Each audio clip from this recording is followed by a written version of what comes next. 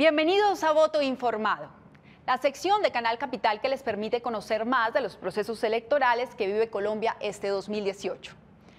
A la hora de ejercer el derecho al voto en las elecciones legislativas, es importante entender qué es una lista cerrada y por qué los partidos políticos deciden optar por esta opción para las elecciones de Congreso. Ese es el tema que trataremos hoy. Veamos. Para votar por los aspirantes al Congreso hay dos opciones. La primera la lista abierta y la segunda la lista cerrada. La lista cerrada, como su nombre lo indica, muestra únicamente la opción de votar por el partido y no la de elegir a un candidato específico. Se les llama cerradas porque el partido es el que decide en qué orden descendente van ubicados los candidatos.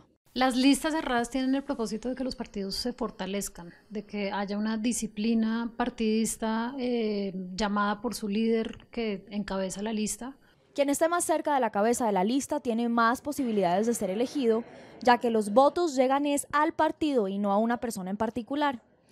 Una vez alcanzado el umbral del primero del listado, los siguientes votos son para el segundo y así sucesivamente. Vota por la lista del partido, no vota en este caso por eh, ningún candidato en particular y se cuentan a nivel del partido los votos, es decir, todos los votos que acumule el partido le van a servir para la repartición de escaños a partir de la fórmula electoral de la cifra repartidora.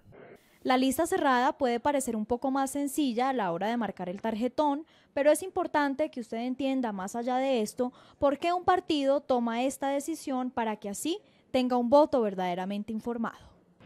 Con las listas cerradas se promueve la elección de una idea colectiva de partido lo que le facilita el voto a los ciudadanos. Nos vemos en una próxima cápsula de voto informado para que usted tome la mejor decisión.